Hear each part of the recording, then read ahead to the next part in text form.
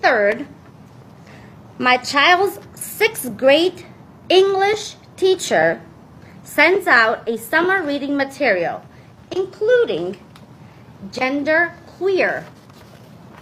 Okay? Hopefully everybody can see this, yeah?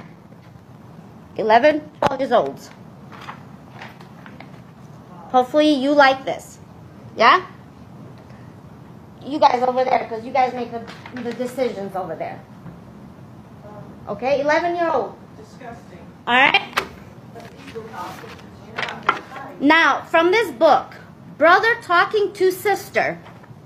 So you never tasted yourself? Sister shows brother.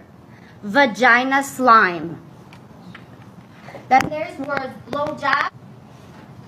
This is exactly what I would expect a pedophile to behave when approaching a child.